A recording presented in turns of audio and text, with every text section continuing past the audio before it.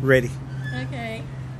Go ahead, sis. Oh, I bought my Ford at, at Upland, And I'm completely satisfied. and I'm satisfied. Completely satisfied. Completely satisfied. Tell the story. Go ahead.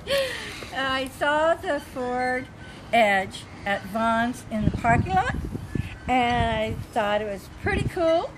So I came by one day and Met JB. they met JB.